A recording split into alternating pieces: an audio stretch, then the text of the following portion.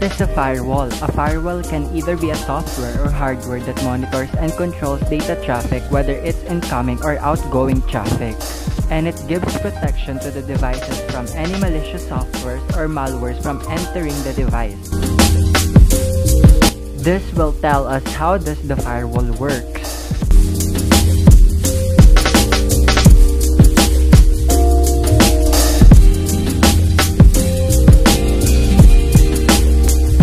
There are three important rules under Windows Firewall with advanced settings. It includes inbound rules, outbound rules, and connection security rules.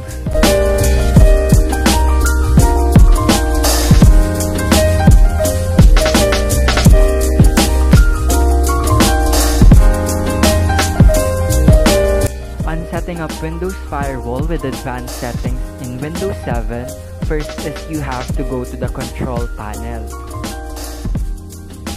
When you open the control panel, you have to click on System and Security and click Windows Defender Firewall. There you will initially see if the Windows Defender Firewall is on or off. At the left portion, you have to click Turn Windows Defender Firewall on or off if you want to activate or deactivate the firewall.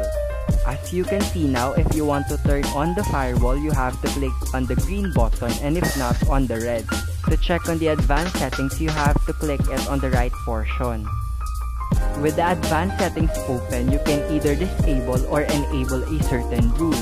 Here you can see the inbound rules, outbound rules, and the monitoring. When you see a green mark, it means that the rule is enabled. And when you see a gray mark or none, it means that the rule is disabled. And that's it, you're done setting up Windows Firewall.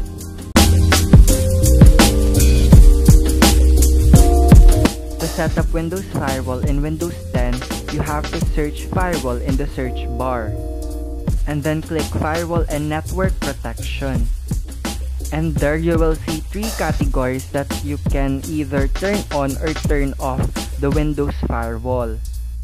The procedure for the three categories are just the same. You have to click on one of the category and you can either turn on or turn off the Microsoft Windows Defender Firewall.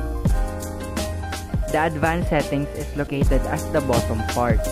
And that's it. Among all the Windows version, this is the easiest way for you to set up your Windows Firewall.